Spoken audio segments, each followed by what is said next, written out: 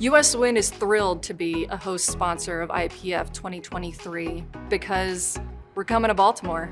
Uh, this is our backyard. We are thrilled to show everyone our city.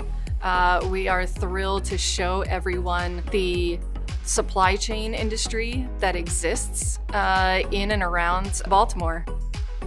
US Wind is Maryland's offshore wind leader. We are one of now dozens of offshore wind developers up and down the East Coast who are working to get clean energy developed and onto the grid as quickly as possible. I think what's most needed to build out a, a, a successful industry in the US is uh, hungry, committed uh, people uh, working together. And I think uh, another big component to a successful domestic clean energy industry uh, is a domestic supply chain and putting people to work. And I think IPF has all of those components. We're bringing people together once a year uh, in a massive way.